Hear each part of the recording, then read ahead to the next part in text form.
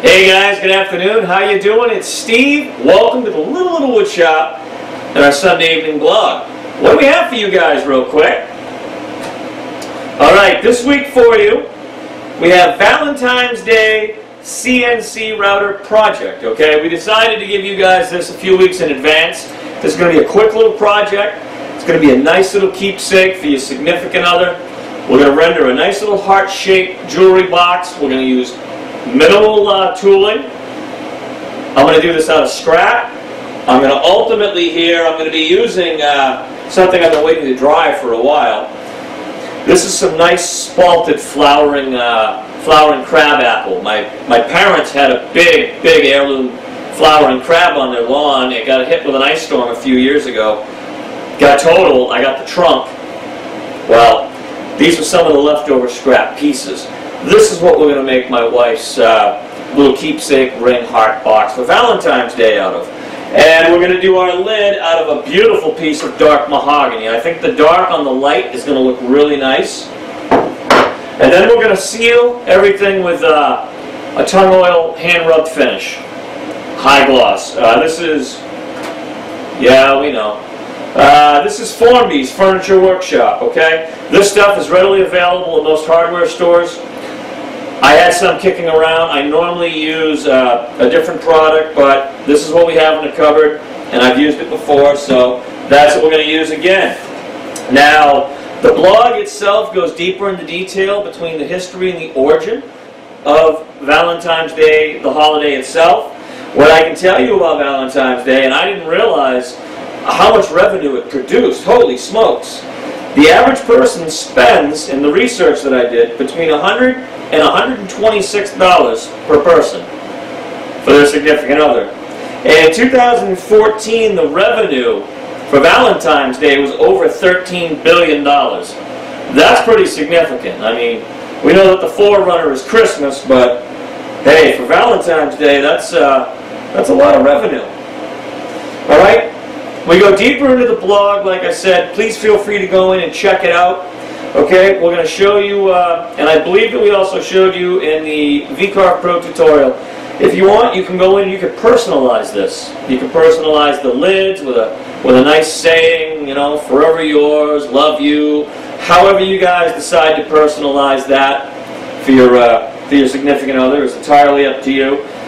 I had mentioned uh, a possible beveled edge around the lid. I'm not going to go with that. What we are going to do though is I am going to flock the inside of the box.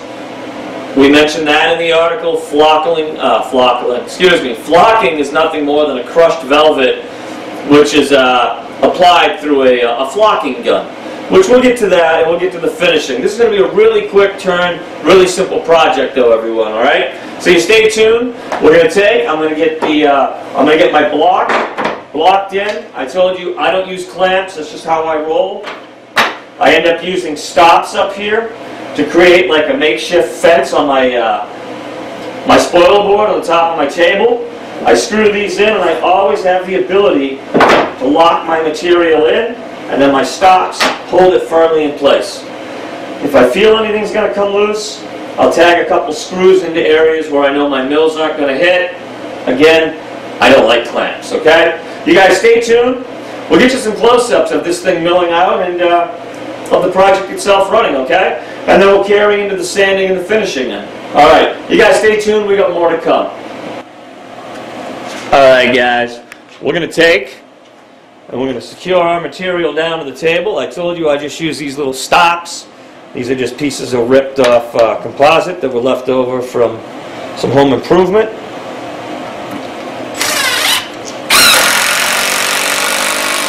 Again, we only use fasteners that are going to go into our stops and into the spoiler board we put over the factory.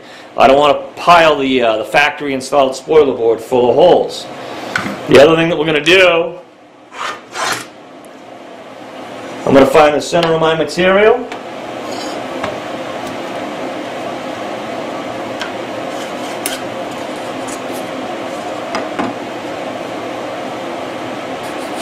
Great.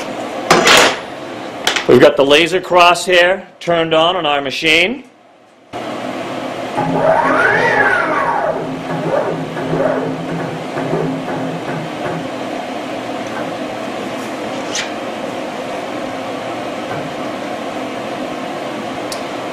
And X marks the spot. We go to our Win CNC controller. We click on our laser X0, Y0. And by God, now our end mill or the center of our collet is lined up directly in the center of our material. From there, I'm going to do a bit change. I'm going to put in my half inch end mill. I'm going to touch top. I'm going to do my pocket. We're going to do a change, a bit change. We're going to put in a quarter inch end mill. And then from there, we're going to do the cutout. We'll put the lid in, and then we'll cut the lid out. Well, we have a two tool path function on the lid, but we'll get to that in just a minute. All right, you guys stay tuned. We got more to come. All right, everybody, welcome back. Same thing's going to apply again. We've got our lid in now. I've got it blocked. Everything's locked in nice and tight. I have a quarter inch end mill installed from the cutout on our box. First thing we're going to do is we're going to do that pocketing tool path, which will only take out an eighth of an inch, and then it will allow the lid to sit down inside of our box just that one eighth of an inch. So we're going to fire her up, we're going to mill this, and then we're going to cut it out, okay? You guys stay tuned. we got more to come.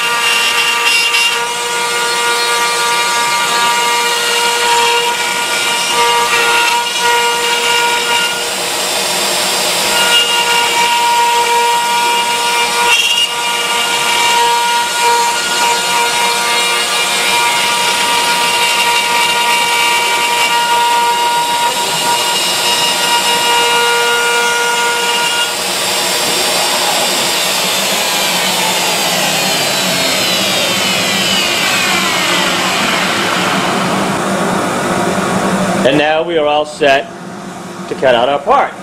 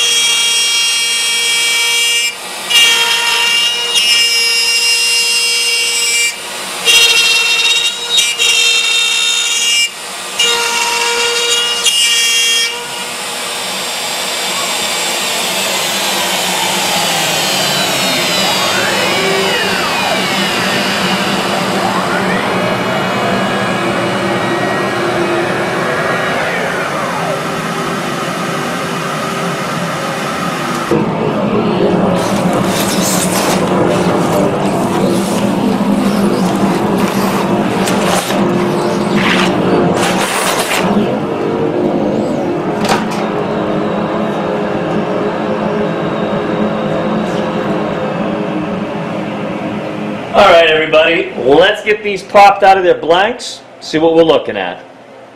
All right, everybody, well, we've now got our base. Here's our little decorative heart, our nice big pocket we put in with our half inch.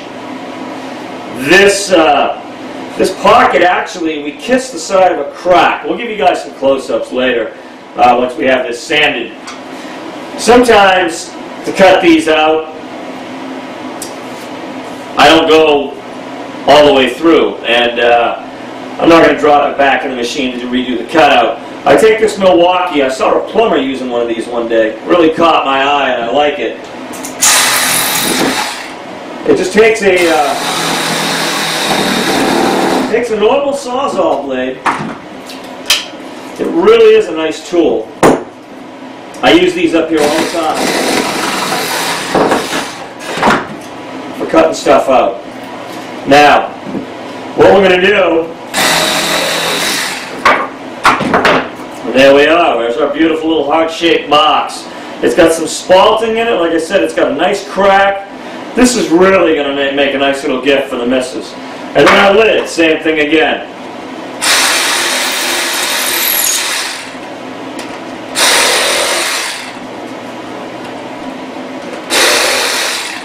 And there we have it. Now, we've got our lid, we've got our box, now we've got some sanding to do, obviously, because this lid, the lid right now is a little too snug. So we've got a little bit of sanding. But that's basically our piece. So we're going to go work this right now on the orbital. And uh, when we get ready, we'll come back. And I told you we're just going to use Formby's rub-on oil for a nice hand-rubbed finish. And we'll knock down the uh, We'll knock down our tabs and any overhang, but that's it.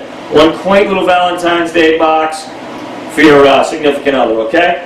Guys, stay tuned. We'll get to the finishing end of this. Simple, simple, and uh, that'll be the end. All right, guys, we'll be right back. All right, folks, we're back. This is it. We've got our box run. Here we are. We've got our beautiful bottom, and we've got our nice mahogany top. Nothing, uh, Nothing difficult here at all. I will apologize in advance though. Uh, when I programmed my lid, I told you that uh, I basically used the imprint of the, uh, the program from the box itself. The actual heart was out of symmetry just a little bit. So what had happened was by milling it, taking the mirror image of the box to do the lid for this little uh, this little 1 8 inch rim so that the lid fits in. Well, by the time I folded it back over, I've now basically thrown this thing symmetrically uh, out of whack a little bit because, like I said, the box walls here, one side I think has got a wall thickness a little thicker than the other. So I had to rework my lid a little bit. Now I'm going to go back in, I'm going to alter the program. What I'm going to do is I'll take the same image that I used, I'm going to mirror it I'm going to pre-flip it so that once it mills out, it goes to go on the box, now it's going to be uh, symmetrically correct. All right. The other thing that we're going to do, we told you, we're going to end up using Formby's tung oil finish. This is what I happen to have in the cupboard, so this is what we're going to use for this little box. This goes on with something as simple as a rag. There was nothing to this, guys. You'll find an area, you know, that you, uh, you want to cover. We'll apply a little bit to a cloth. Alright, and then we can apply it to a side. And yes, sir, that is going to give some really nice highlights and colors to this piece. I told you that this uh, this little box for my wife here, this uh, had a nice crack in the back of it. I think it's going to really add some nice effects. But Formby's to me, or any of the rub-ons, are they're about as easy as a finish as they get, for God's sakes. All you got to do is put them on a rag and work them in, all right? Follow the instructions on the, uh, the recommend, uh, recommendations on the back of the label. And that's pretty much it. Now, the other thing I had mentioned was flocking. What is flocking? Okay, flocking is nothing more than crushed felt that you put on through the use of a flocking gun. It's just a tube, has a ring on the top. This one has five holes in it. You'll essentially put your crushed felt or your flocking in here, very gently put your lid on, and you give it a couple pushes, and it throws the flocking out the end of the gun. Now to do this, you want to match whatever color flocking you choose to use inside your box. You also want to use the colored paint to coordinate. Green flock, use a green paint. blue flocking, use a blue paint, so on and so forth. You get the idea. As far as the paint goes, they're going to try to sell you special flocking paint. Guess what? This is a uh, can of Ace brand Rust-Oleum oil-based enamel. It's red. It may not be 100%. It's going to be a wash in the end, though. Now, in this case, I had mentioned I'm going to do the interior of this box. All I'm going to do is the very bottom of it, though.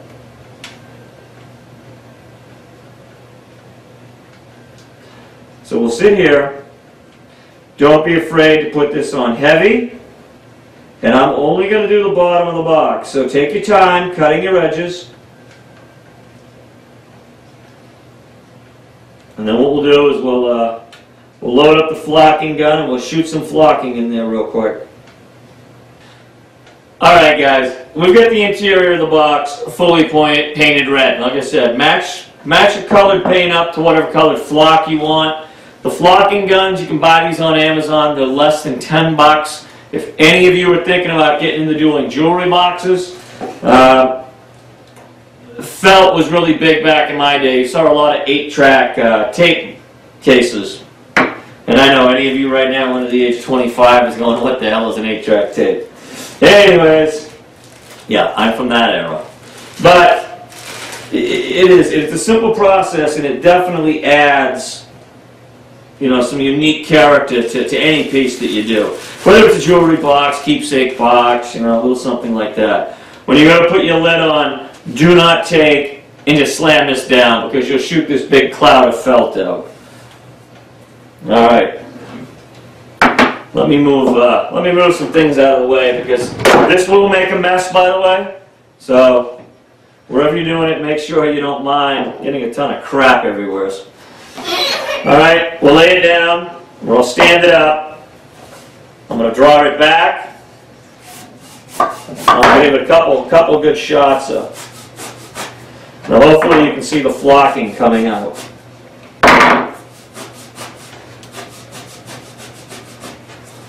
There's a big cloud. Also, although I don't have it on, I would probably recommend you wear some type of dust mask or protection. Now this is definitely a big deal for the little ones. I can tell you that the kids enjoy doing this. Alright, you can take any of the loose stuff, you can sprinkle it back in. Shake it around. Seriously, it's not rocket science, it's flocking. Alright. If you can, I would say try to save any excess. Stuff costs you money.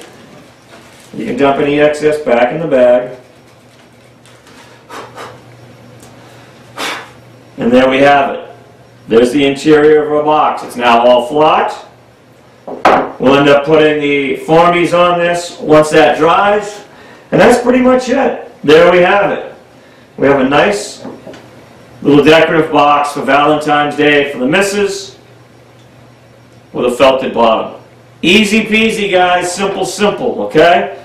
I will go back in. We will fix the lid uh, in the program for you, and then we'll release the package. All right, everybody?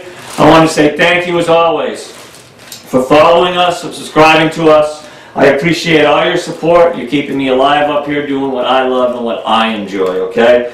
Well, guys, go out. Happy, uh, happy Valentine's Day project building, and uh, I, can, I can assure you that the missus will really like this gift, okay? All right, guys. We'll see you... Uh, We'll see you Wednesday for the midweek shout out. Until then, be safe, drive safe, and get home safe to you and yours. And uh, huh? Have a have a good week, and uh, we'll see you shortly. All right, guys. Bye bye.